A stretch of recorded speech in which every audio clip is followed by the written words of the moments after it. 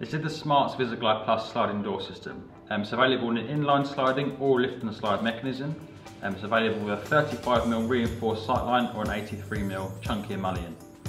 Available in two, three or four panels on a double or triple track. The system will go up to 250 kilos per panel in weight, as long as you don't exceed 2.5 metres high. The U-values are great, 1.6 are standard, uh, available double and triple glazing, and you get a number of different colour options from the RAL colours or Smart Sensations and KL range too.